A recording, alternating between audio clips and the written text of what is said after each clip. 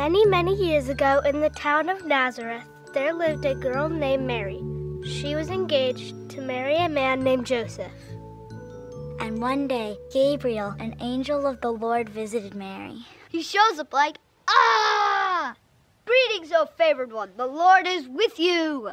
She's like, Whoa. You're gonna have a baby, and his name will be Jesus. He will be very great, and he's gonna save the world. Mary didn't understand how this could happen because she wasn't married. Mary, God can do anything. The Holy Spirit's gonna give you this baby. Mary was so surprised, but knew it was true. I am the Lord's servant. May everything you said come true. Many months later, Mary was ready to have the baby. But first, she and Joseph had to take a trip to Bethlehem. Mary rode a donkey, and if they didn't have the donkey, I'd be like, carry me. Boys can sometimes carry women, but not that heavy. What do you want? I'm about to have a baby. But there was no empty rooms in the inn. But he said no, so he took them to a barn. They had to stay in the stable with the animals. It's like really dirty and it's like an animal barn. Well, I would not want to live there either. That same night, three shepherds were keeping watch in a field.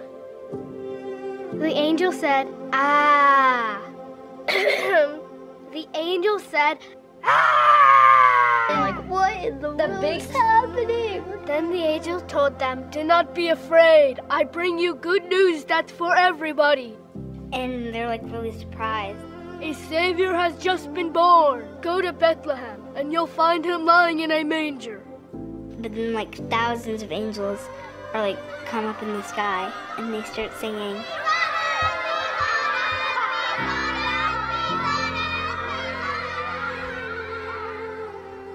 Then all the angels just disappeared, and the shepherds were totally confused.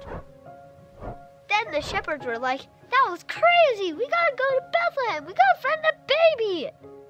And then they go and look and Look for Jesus. look for Jesus.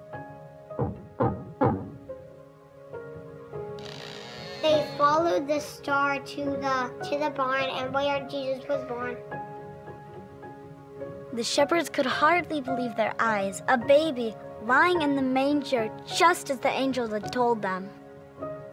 The shepherds told Mary and Joseph all about how the angels appeared to them and stuff. Uh, the shepherds are in the field, and an angel comes and tells them that Jesus is born and they need to go see him. Mary loved what they said and put it in a special place in her heart. And they named the baby Jesus because this was no ordinary baby.